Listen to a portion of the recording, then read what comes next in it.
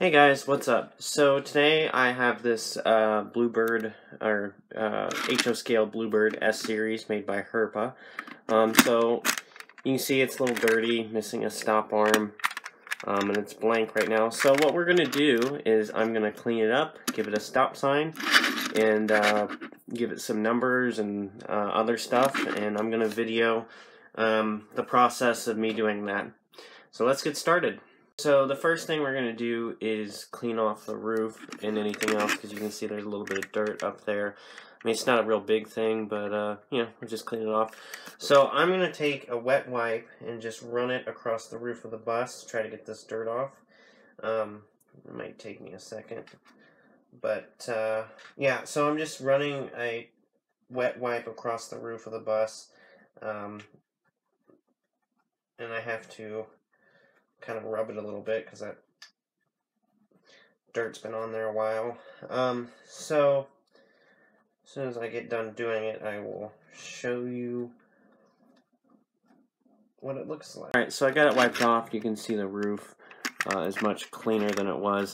And I went ahead and wiped down the whole bus. I don't know if you can really tell or not, um, but it's a little bit cleaner than it was. Um, so now what we're going to do is I've got a uh, parts bus here. Um, so it's got a stop sign, and you know, all I gotta do is just pop it off, is like so. So now, um, which this is really easy. Now I just gotta take this stop sign and line it up with the uh, pins on the, or not the pins, but line up the pins with the holes uh, on the side of the bus, um, like so, let me... So basically, um, hold on a second. So basically, once it's lined up, I just have to um, push down on it and make sure it stays in place. So now it's got a stop sign. Um, and then the next thing we're going to do is we're going to go ahead and uh, give it an ID number and a bus number and we're going to go ahead and put stop uh, state law on the back. And yeah. Uh, so we'll go ahead or I'll go ahead and print off those labels and I will show you how it's how I do it. Alright so I got my labels printed out. I've got uh, state law uh, stop. Uh, I decided on the number 52 oops decided on the number 52 for this bus, and then the ID is uh, 551 180.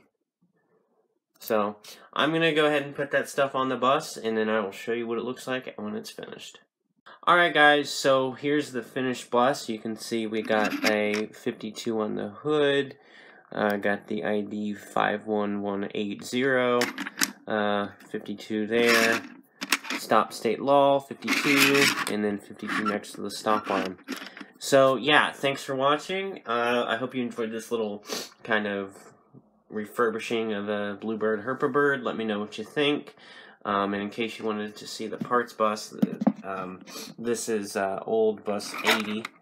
Uh, the if you see, you can see those little uh, brighter yellow pieces that are on the body. Those are the notches from the hood, um, which the hood is right there. But uh, that broke, so I just took it out of uh, service and kind of retired it, and now it's being used for parts. So yeah, thanks for watching. I hope you guys enjoyed this video. Tell me what you think. Bye.